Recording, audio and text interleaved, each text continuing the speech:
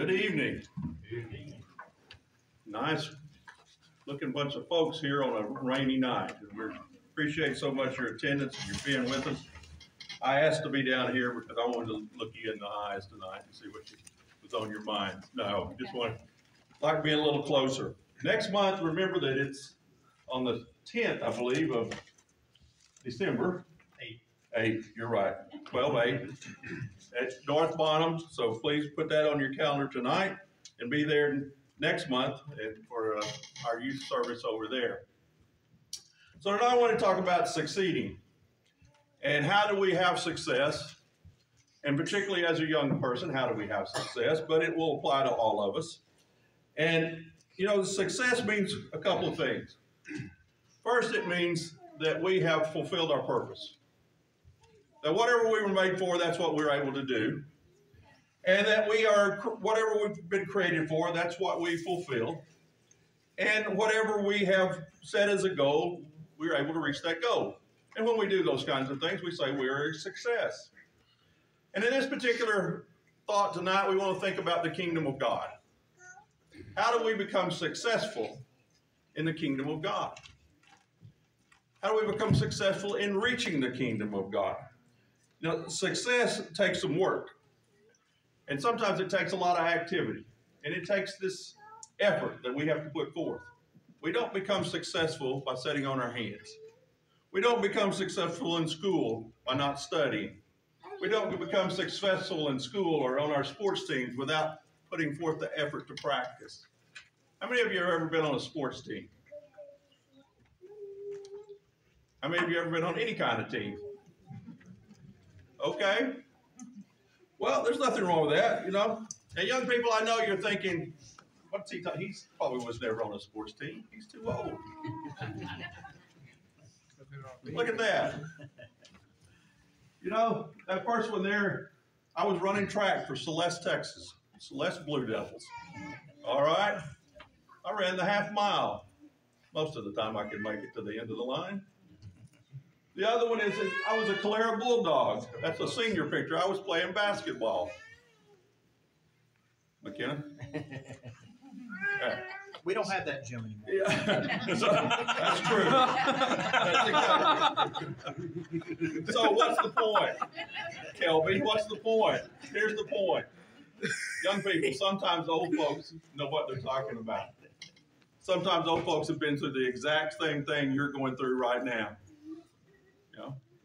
We've, we've experienced the same experiences. So think about older Christians, and it's all right to talk to them. It's all right to listen to them. It's all right to ask them, hey, how did you get to be successful in this congregation? How did you get to be successful in this kingdom? What did you do? Well, you know, when we're on these sports teams or any kind of team, we usually have a coach. We usually have a teacher. And coaches usually say things like this You got to be better than the other guy. You got to work harder than the other guy. You got to practice harder. You got to have better skills. You got to shoot better. You got to tackle better. You know, you got to hit the ball better. They never say, well, they're better than us. We can't beat them. In fact, you know, we're not even going to practice anymore because we know we can't win a game. Coaches don't talk like that, do they? No, it's just the opposite. What are you going to do? What are you going to do? Turn in your Bibles with me to Matthew chapter 5. Matthew chapter 5. We all know this setting. It's the Sermon on the Mount. Christ has to call his disciples to him. It's sort of like a classroom, like the locker room. He's got his disciples around him, and he's about to tell them some things. He's about to teach them. He's going to educate them on what they need to do to be successful in this kingdom. How they're going to make it, how they're going to win. He's about to tell them. And Jesus is going to say, you know, it's important for you to enter this kingdom. John had just been talking about this kingdom that was coming, that was at hand. Jesus, earlier in this sermon, he has told them, you know, if you're going to enter the kingdom, here's some, here's some attitudes and some beatitudes, some things you need to do to enter this kingdom. If we look down to verse 20, very important verse, key verse. It says, I can find it here. I changed Bibles again this morning. Oh, that's a bad. Yeah, it's a bad thing. For I say to you that unless your righteousness exceeds the righteousness of the scribes and the Pharisees, you will by no means enter the kingdom of heaven. He says, You got some things to do. You've got to exceed the righteousness of the Pharisees, scribes and the Pharisees. That's who you're up against, and you've got to do a better job than they're doing. You've got to win over them. You got to beat them. And they're looking around and said, What is he talking about? What does he really mean about this? He's saying that we have to be better than these scribes and Pharisees. These, this is the best team in town. You know, let's look at these words a little bit. Righteousness, what does that mean? He says, Your righteousness, what you're going to be doing, has got to be better than the scribes and the Pharisees. Well, when we look at the word righteousness in the New Testament, it's talking about that we're justified. It's talking about that we're standing right with God, that we're doing the right things, that we're standing right in God's sight, that our behavior is the kind of behavior that God expects of us. And as He looks at us, He says, You're doing what I want you to do. You're right. Hebrew word means justice here sometimes. He said, You're the just person. You've been justified. You're living in accordance with God's will. And so he says, when it comes to that word righteousness, you've got to be better than these other guys. And he says, you have to exceed it. We know what the word exceed means. You're driving down the road and it says speed limit 55 miles an hour. And Mr. Highway Patrolman pulls you over and says you were going 67 in a 55. What does he really say? What does the ticket say? You exceeded the speed limit, right? You went above the upper limit. And so Christ is telling us, his disciples, those people who are trying to learn from him, those of us who are trying to find out what he wants us to do, he says you've got to surpass their righteousness. You got to surpass what they're doing. You got to go beyond it. There's a requirement here. And you got to be better than they are. There's no silver medal. It's only first place or no place. So you got to do better than they do. Well, who's he talking about? These scribes and these Pharisees. You know, why were they the best in town? Well, they were the legal scholars. They were the folks that when you wanted to ask an, a question about, about the old law, about Moses' law, you went to one of these guys. Scribes had been writing it down for years. The Pharisees were the ones who had the, knew, knew what it meant when everybody else did not. So they were the experts. You know, they were the teachers of the law. They were supposedly knew what God expected. And since they knew what God expected, they knew what righteousness was and they were better at it than anybody. And here comes Christ saying, That's the best team in town, but you've got to be better. You got to do it better than they do it. You know, you've got to exceed it. But here's the sort of the, the kicker to this whole thing. This sort of gives us an insight to man's eyes and God's eyes.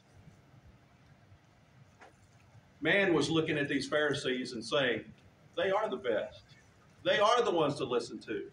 They are better than anybody else when it comes to being right with God. And Jesus says, in God's eyes, they're not. He's going to spend a lot of time over the next three years telling how they are not the best team in town. You know, that they, he's going to contrast what they're saying with what God says. And as he contrasts what they say with what God says, he says, look, they're not the best team. What God says always comes ahead of what they're doing. They're not living right. So here's the contrast. So he's giving us a challenge. Disciples, students, learners of me, You've got to be better. You got to exceed. You got to go past what they're doing. So let's look at this word righteousness a little more. It says we have to align, be in alignment with God's will.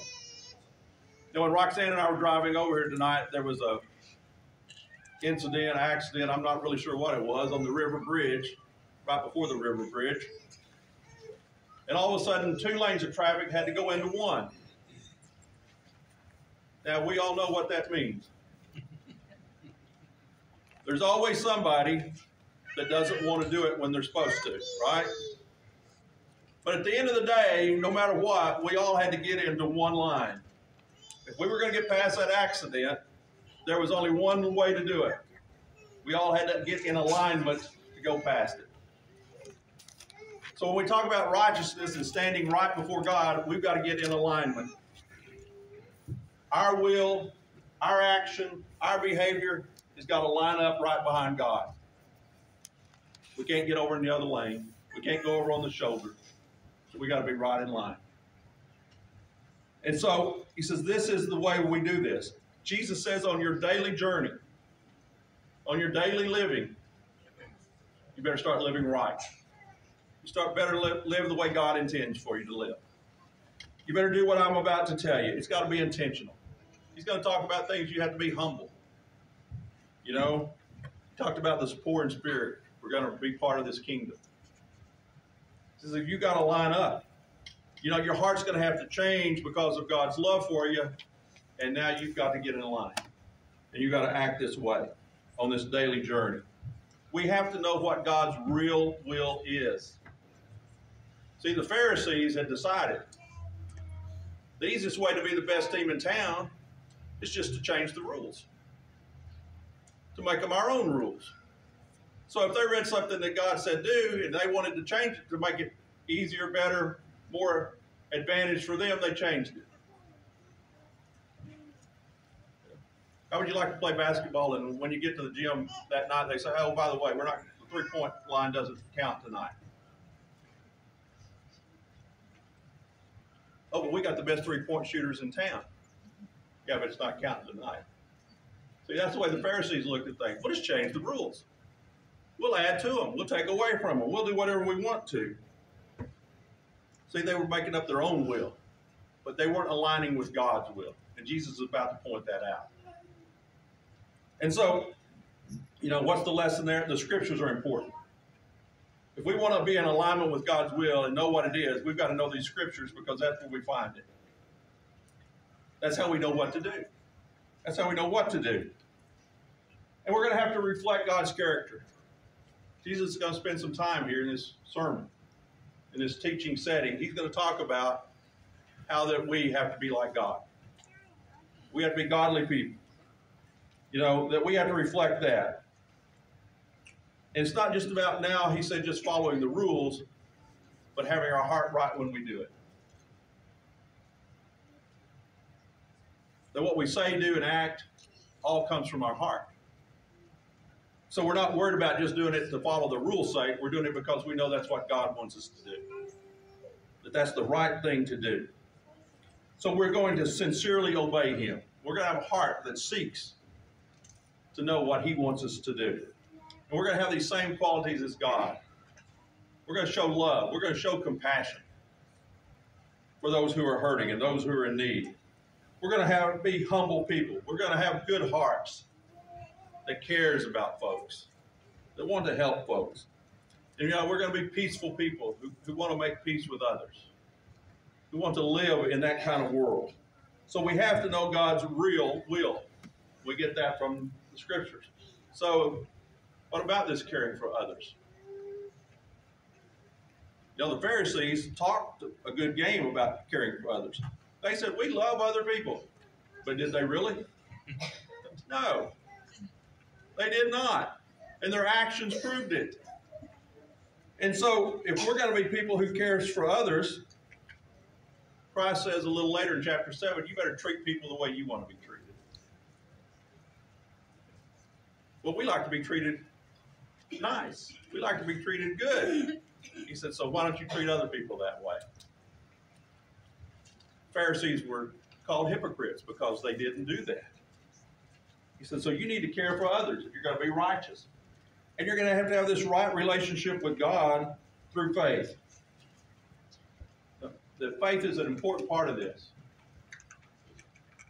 Faith, it's going to take faith for you to change. It's going to take faith for you to start to believe what He's telling us, what Christ says to us.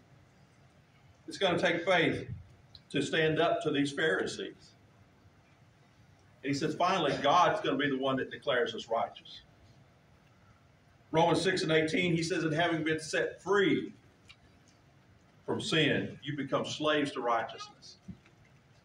And we can't be righteous people until we've been set free from sin.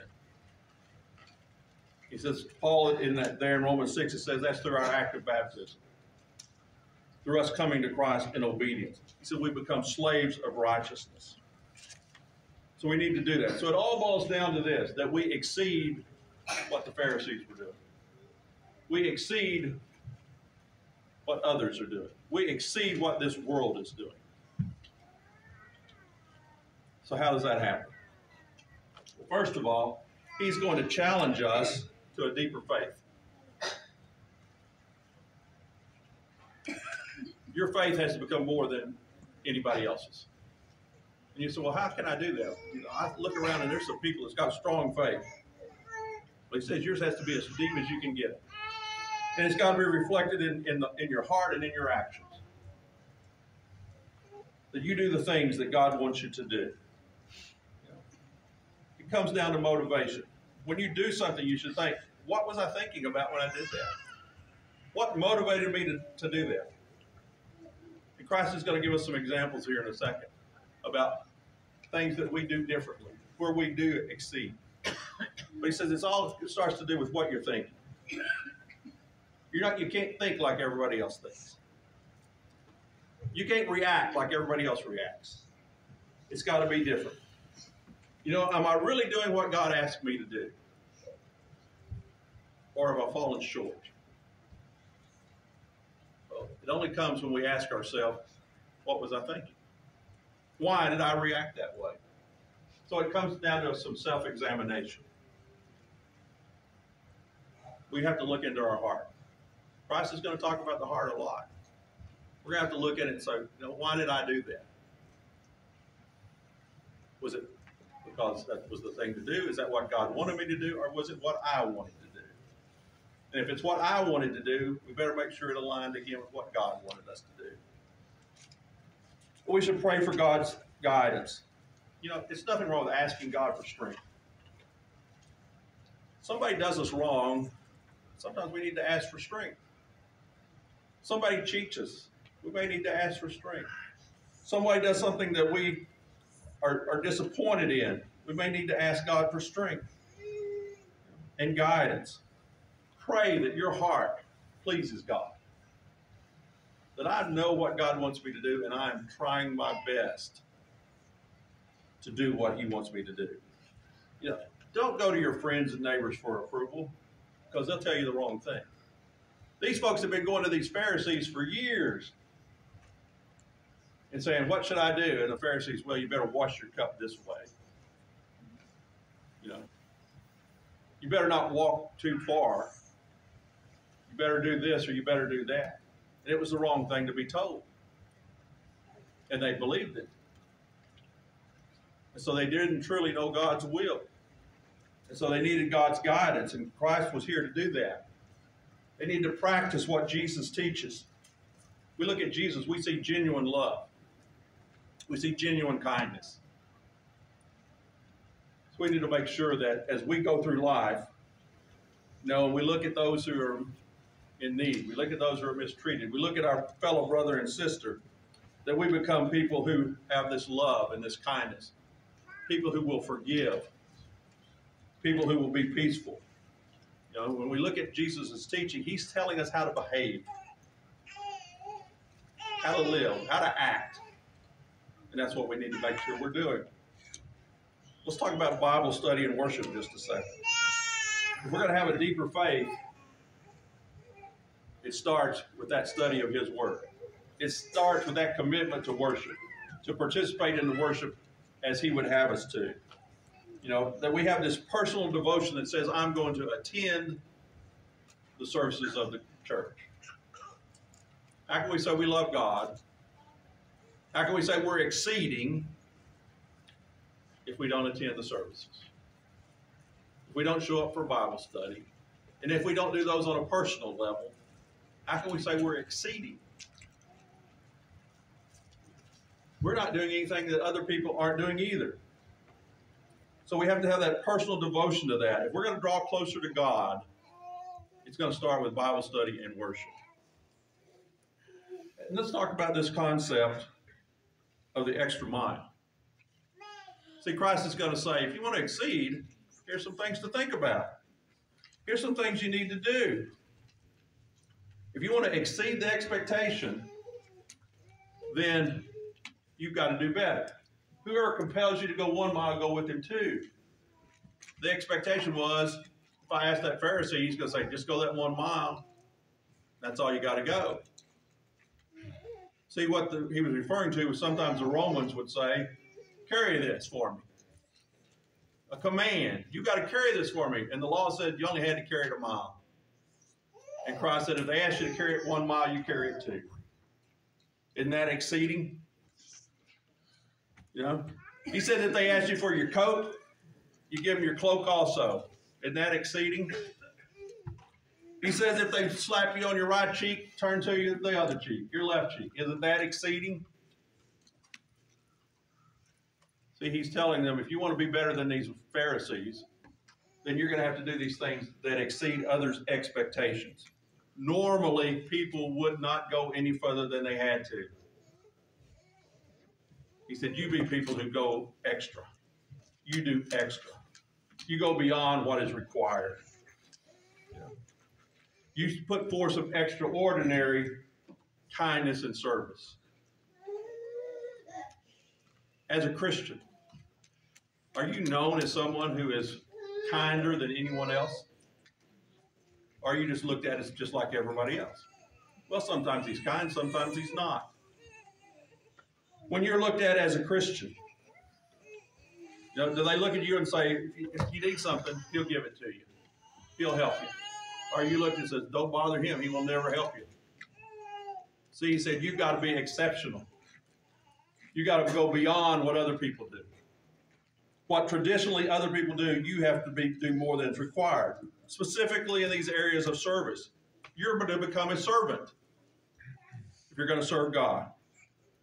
How about when they're not a friend? When somebody that doesn't like you, shouldn't you be just a little kinder? That's not traditionally the way we look at it, is it? You don't like me, I don't like you. You slap me, I'm going to slap you back. Right? You ask me for something, I'm not going to give it to you. There's nothing extraordinary about that. There's nothing exceeding about that. Christ says you got to be people who exceed. You got to do better. Well, how do we determine when's, when it's enough? Well, okay, he asked me to go one, I'm going to go two, but I'm sure not going to go three. You know, he gave, he asked for my coat, I gave him my coat, my cloak. I'm sure not giving him the vest. Those kinds of things. How did Jesus serve others? Did Jesus put limits on it? Did Jesus say, well, you know, I know you've got, uh, you're blind, I'll fix one eye, but not two? I know you can't walk, I'll fix one leg, but not both of them. No, Jesus always went as far as was needed. And so, if we're going to be people who are exceeding the righteousness of others, of the world, we have to go be, we have to do what's needed. Don't stop until we get that done. That's the way we serve others. Let me ask you this question How do you feel when someone does more than expected for you? When someone does something you weren't expecting, when someone gives you more than you asked for, when someone works harder for you than you were expecting, you know, don't we feel amazed sometimes? We feel grateful for what they've done. In verse 48 here in chapter 5, He says, if you do all these things, you're going to be perfect, just like the Father's perfect. You know, when you hit perfection, you can't exceed that. You can't go past that. He says, you got to do these things until you reach perfection, just like God is perfect. He said, do these things and you'll be perfect like that. Luke 17 and verse 10, he gives us a passage here where he says, And which of you, having a servant plowing or tending sheep, will say to him when he has come in from the field, Come at once and sit down and eat? But will he not rather say to him, Prepare something for my supper, and gird yourself and serve me till I have eaten and drunk, and afterward you will eat and drink? Does he thank that servant because he did the things that were commanded him? I think not. So likewise, you, when you have done all those things which you're commanded, say, We are unprofitable servants. We have done what was our duty to do.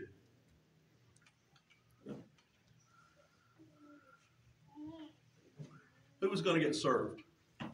The master. Whose duty was it to serve him? The servant. Yeah. There was a Lord and a servant, and the Lord's going to come first. And when he says when that happens, he said that's just what's expected. You've done your duty. The word duty here is talking about responsibility. It's talking about a legal obligation. He said you've just done your duty. You fulfill that legal obligation. You know what you were responsible to do. He said that's the performance that is expected of you. He said you got to serve the master. The master comes first. And he said, and then when you sit around and say, Well, I've done this, he says, Oh, it's just going to come down to this. You've just done what was expected. Don't go around saying, "Now look what all I've done." You know, he says, the master's going to say, I come first. and in our Christian life, in our journey, the master always comes first. And so when we've done what is expected of us, he said, we've just done our duty. We fulfill that legal obligation. But here's the point minimal effort, minimal work, minimal diligence is failure. When we say, I've done the minimum, it's all I can do. I've done what I consider the bare minimum. So he has to reward me. He has to let me eat. He has to let me drink. See, minimal effort is failure. So you got to exceed. We couldn't stand around and say, look, I'm just as good as these Pharisees. Everything they say to do, that's what I'm doing. Everything they ask, that's what I'm doing. He says, no, you've got to fulfill that, and you've got to go beyond that, or you're an unprofitable servant. And then he gives us one other thought, and we'll start to wind down here. He says, Look, you've been listening to these Pharisees, and he's going to use this quite a bit here in the Sermon on the Mount this concept of you've heard, but I say. He's saying this is the traditional thinking. This is what's been going around. This is what the majority says. This is what all your friends and neighbors say. But here's what God says. And for some reason, they're not exactly the same. And for years, you've lived by what everybody else says, what you've heard. And here I'm going to come along and I'm going to say, you know, there's something else. And I'm going to show you by example what that means.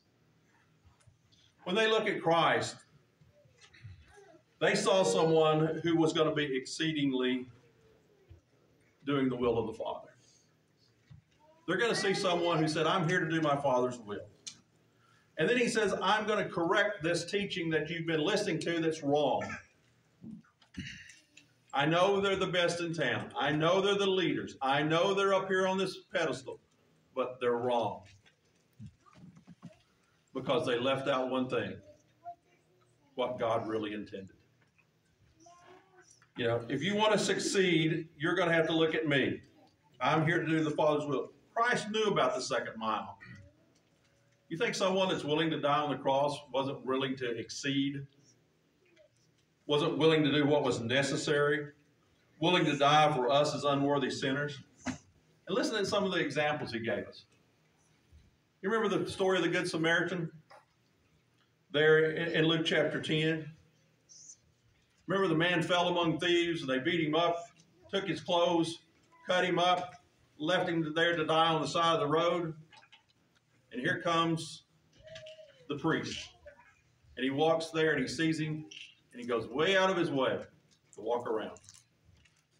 next comes a Levite, religious person, walking down the same road, sees the man over there on the left, hurting, bleeding, walks way around, won't even look at him. And then here comes the Samaritan, the most hated person in, in Judea. And he sees him, and the Bible says he took compassion. He exceeded the righteousness of the Pharisees by his action. You remember the rest of the story. put him on his animal, took him into the inn, bound his wounds up, left money there to pay for his care and keeping. Said, if I owe you more, I'll pay it when I get back. See, he was exceeding the righteousness of the Pharisees. What about the tax collector and the Pharisee? As the Bible says in Luke 18, they both went up to the temple to pray. Here's the Pharisee standing there in the temple for everybody to see, saying, God, I thank you, I'm not like this other guy. I thank you, I am so much better than he is. I'm better than all these people that act like this. Here's the tax collector, again, one of the most hated people in the, in the world. And he gets up there and says, without looking up, without looking around, looking at the ground, says, God, have mercy on me, a sinner. See, that's exceeding. Christ, when he was watching them put their money in the collection plate, everybody was putting in these hundred dollar bills and these thousand dollar bills, and here comes the little widow, and she puts in two pennies. And he calls his disciples together and he goes, You know, look at this. She's giving out of poverty. She's giving out of not having anything. She's giving all she has. These other folks are giving out of their abundance. And so she's more justified. What he's saying is, look at all of these different examples. I'm going to, I'm teaching you a different way to live. Quit living like these Pharisees who only live for themselves. Start living the way God wants you to live. Start acting and doing this. this. So this is a new teaching. This is a new way of thinking. How to exceed? How about in your personal life? Every one of us have friends, neighbors, classmates, people we work with. How do you treat them? How do you act around them? Are you acting like a Pharisee? Are you acting like everybody else acts? Are you somebody that's kinder, gentler, humbler? You know, that's willing to do the things that are godlike. Christ is going to teach here in this same chapter about look at your enemies. I'm going to tell you something new. The Pharisees would tell you, you know, love your neighbor and hate your enemy. I'm going to tell you to love your enemy. Wait a minute. That's different. That's new. That's exceeding. How about at church? In your church life? How are you going to exceed there? You know, are you going to be someone who's trying to grow personally in the scriptures? That you're putting in that effort to grow in your knowledge of God's word and your application of God's word? Are you someone who volunteers for things? Do you help when it's needed? Do you ever ask, can I help? We have a new brother at Calera And he asked me 14 times yesterday when we were having our men's breakfast, what can I do to help? What can I do to help? What can I do to help? You know, and you just you can't help but love somebody who is asking to help. So, do you have that kind of attitude? See, the Pharisees, you don't help, I don't help, you help me. And Christ says you got to exceed that. So now you're the one who's asking if you can help.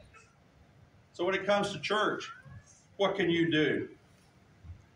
And I guarantee you, if you ask to help, you're doing more than most. But there's always something to do. Isaiah said, Here am I, send me. So we should always be that way. If we're going to be exceeding people, we do that. How about in our community? Do you give of your means to help others? Do you show acts of kindness to folks in need around you?